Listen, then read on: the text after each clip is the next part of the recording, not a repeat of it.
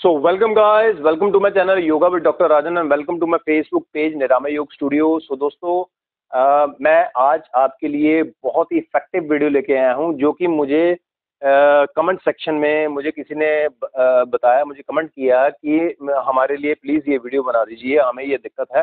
सो दोस्तों उनको मैं ये बोलना चाहता हूँ मेरा आप यूट्यूब चैनल सर्च कर सकते हैं योगा विद डॉक्टर राजन के नाम से। उसमें मैंने इससे रिलेटेड ऑलरेडी वीडियो बनाई हुई है लेकिन मैं फिर से एक वीडियो उसके रिलेटेड बना देता हूँ। आज मैं अपने मदर को उस आ, उस डिज़ीज़ के साथ लेके एक वीडियो बनाऊँगा। तो दोस्तों मुझे किसी ने बोला था फ्रोजन शोल्डर पे वीडियो बनाओ तो उसके लिए लिए एक सिंपल वीडियो बनाऊँगा। आप घर बैठ के फ्रोजन शोल्डर से आप डील कर सकते हैं उसको ठीक कर सकते हैं। सो so, दोस्तों सबसे पहले हम छोटी सी बात एक और चीज़ तो मैं आपको एक चीज़ बताना चाहता हूँ कि आप मुझे फेसबुक प्रोफ़ाइल राजन चौधरी के नाम से भी फॉलो कर सकते हैं। आप मुझे इंस्टाग्राम में भी फॉलो कर सकते हैं योगा विद डॉक्टर राजन के नाम से और आप मुझे यूट्यूब में भी फॉलो कर सकते हैं योगा विद डॉक्टर राजन के नाम से मेरी आईडी है। सो so, दोस्तों मैं आपके लिए फ्रोजन शोल्डर पे एक आज वीडियो बनाऊँगा। सो so, सबसे पहले ये समझते हैं कि फ्रोजन शोल्डर है क्या चीज़ है और किन लोगों को ज़्यादा होता है। सो so, सबसे पहले प्राइम इंपॉर्टेंट चीज़ जो मैं बार बार बोलता रहता हूँ एक्सरसाइज इज़ प्राइम इंपॉर्टेंट जितनी देर तक आप एक्सरसाइज नहीं करेंगे उतनी देर तक आपकी health physical health mental health सही नहीं रहने वाली। सर सिंपली वे है। मैं बार बार अपनी वीडियोस में बोलता हूँ एक्सरसाइज करनी ही पड़ेगी। ये तो प्रॉब्लम्स आएँगी डिजीजेज आएँगी बहुत कुछ आएँगी।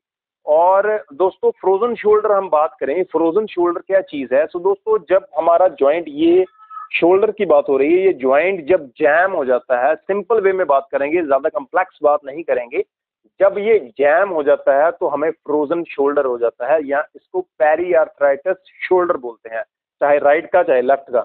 जिन्हें डायबिटीज़ होती है, जिनको शुगर की प्रॉब्लम होती है, उनको ये पेरी आर्थराइटिस फ्रोजन शोल्डर ज़्यादा रहता है, उनमें ज़्यादा देखा जाता है, लेकिन उनमें भी रहता है जो एक्सरसाइज नहीं करते हैं, जो अपनी शोल्डर की मूवमेंट नहीं करते हैं। सो so, ये होता है फ्रोजन शोल्डर इसका जैम हो जाना। अब कोई चीज़ जैम हो जाए उसको कैसे खोलना है? उसको रोटेट किया जाता है उसको ऑयलिंग की जाती है उसके उसके साथ वो खुलता है। तो इसी के साथ हम ज्वाइंट्स को भी ऐसे करेंगे। अगर आपको फ्रोजन शोल्डर की दिक्कत है तो सबसे पहले आपने क्या करना है कि अपने शोल्डर को शोल्डर अगर फ्रोजन शोल्डर है उसके साथ ये हमारा यहाँ पे एक मसल होता है जिसे रोटेटर कफ मसल बोलते हैं। उसके, उसमें भी प्रॉब्लम आनी स्टार्ट हो जाती है और ये भी श्रिंक होना स्टार्ट हो जाता है। तो एक्सरसाइज इज़ प्राइम इंपॉर्टेंट मैं बार बार आपको बोलता हूँ। और इसके लिए चलो स्टार्ट करते हैं। फ़र्स्ट एक्सरसाइज क्या है? तो लेट्स गो स्टार्ट करते हैं फ्रोजन शोल्डर के लिए फ़र्स्ट एक्सरसाइज। सबसे पहला एक्सरसाइज है फ्रोजन शोल्डर के लिए आपने सिंपली बैठ जाना है। आप घर पे कर सकते हैं। वैसे तो ऑर्थोपेडिशियंस फिजियोथेरेपी एडवाइस करते हैं कि फिजियोथेरेपी करवाओ। फिजियोथेरेपी अगर आपके घर से दूर है तो घर पे सिंपल एक्सरसाइज बताऊँगा। सभी कीजिए, आपका फ्रोजन शोल्डर ठीक हो जाए। जिन्हें नहीं है, वो भी कीजिए कि आपको कभी फ्रोजन शोल्डर नहीं होगा। सबसे पहले दोनों हैंड्स को ऊपर कर लेंगे। हैंड्स को ऊपर कर लेंगे। थोड़ा सा आगे हो जाओ। थोड़ा सा आगे हो जाओ। और दोनों हैंड्स को ऐसे पकड़ लेंगे। किसी दूसरे की हेल्प ले सकते हैं आप। और दोनों हाथ को जो शोल्डर्स को पुश करना है ऊपर की तरफ़। One two three four five six seven so this is the first exercise आपने टेन रेपिटेशन इसके करने हैं ten morning ten evening so ये है फ़र्स्ट एक्सरसाइज सेकंड एक्सरसाइज दोनों हैंड्स आपने सीधे कर लेने हैं और शोल्डर आपने अप डाउन करने हैं अप डाउन चलो one two three four five six seven eight nine ten so ये है सेकंड एक्सरसाइज फ्रोजन शोल्डर के लिए और एक थर्ड एक्सरसाइज जो वो भी बहुत सिंपल है।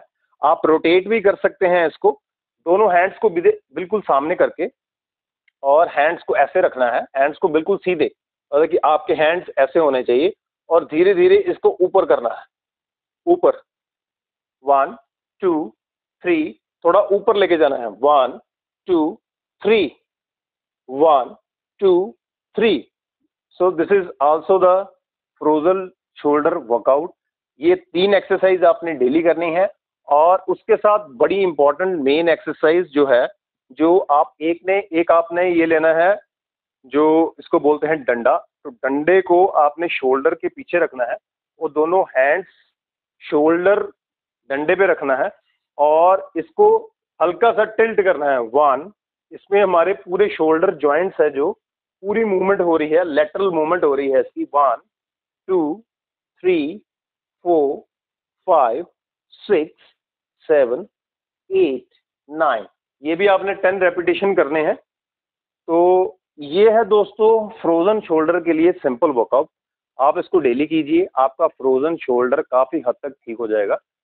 तो ये थी दोस्तों आज की वीडियो। अगर आपको कोई प्रॉब्लम है तो इसके रिलेटेड आप हमें मैसेज कीजिए और उसके मैं सिंपल सी एक वीडियो बनाऊँगा।